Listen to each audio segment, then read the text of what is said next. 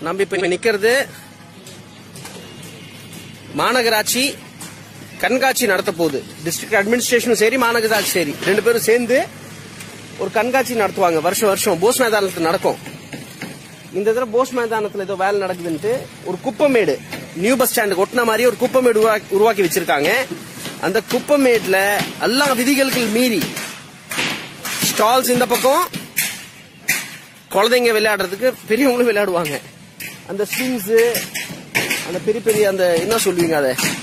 தெரியலப்பா பேரு எனக்கு தெரியல. அந்த பெரிய பெரிய ஊஞ்சல்லாம் இங்க வரப்போகுது. ஹெவியான ஊஞ்சல் வரப்போகுது. சாயில் ஸ்டெபிலிட்டி இல்லாம எப்படி இந்த ஊஞ்சல்லாம் இங்க கொண்டு வராங்க? ஒன்றும் புரியல. பட் இது ஒரு பெரிய ஒரு டேஞ்சரஸான ஒரு திட்டத்தை மாநகராட்சி செயல்படுத்துது. இங்க ஏதோ ஒரு தவறு நடந்ததுன்னா யார் பொறுப்பு? இது லைட்டா இந்த விஷுவல்ஸை கொஞ்சம் பாருங்க என் கமெண்ட்ரியோட குப்பமேடுல எதுக்காக இந்த கண்காட்சி நடத்துறாங்களே தெரியல.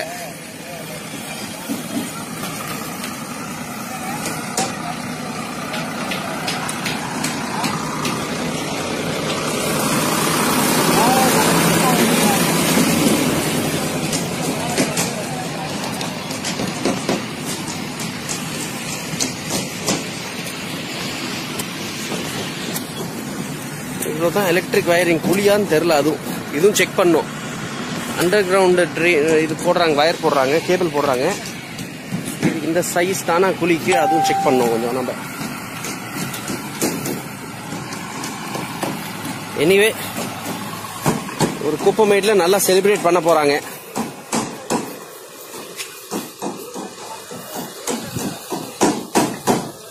இது ஒரு குப்பமேடு நம்ம இப்ப நிக்கிறது ஒன்றும் அச்வான் ஏரியில. அச்வானேரி மேல குப்பை கொட்டி கொட்டி கொட்டி கார்பரேஷன் வந்து இந்த நிலத்தை ரொம்ப ரொம்ப கெடுத்து வச்சிருக்கு. அப்புறம் ஒரு கேஸும் நடந்தது. இவங்க ஒரு குப்பமேடு ஆக்கிட்டாங்க இத.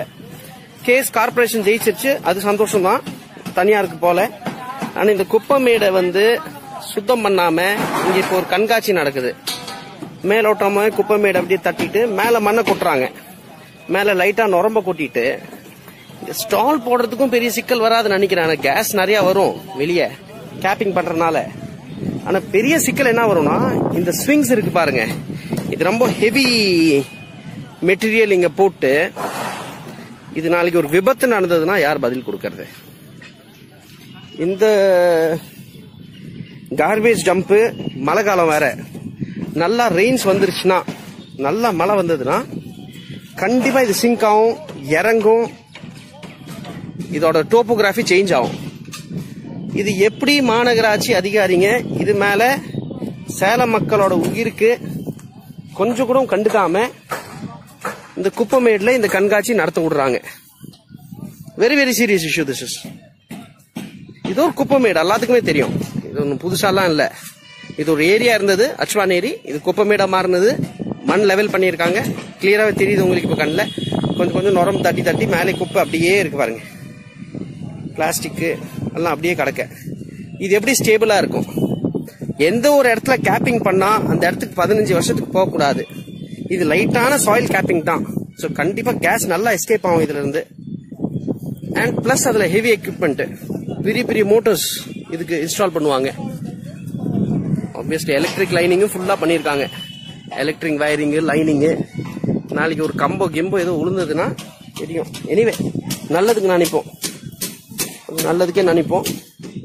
எப்படி இது பண்றாங்க தெரில இன்னொரு ஒன்று இது டவுன் ஸ்லோப் இந்த பக்கம் தான் இருக்கு. அது கொஞ்சம் மேடு பகுதியா இருக்கு. இந்த பக்கம் கொஞ்சம் டவுன் ஸ்லோப் இருக்கு. இது என்ன ஆயிட்டு இருக்குன்னு புரிய மாட்டேங்குது.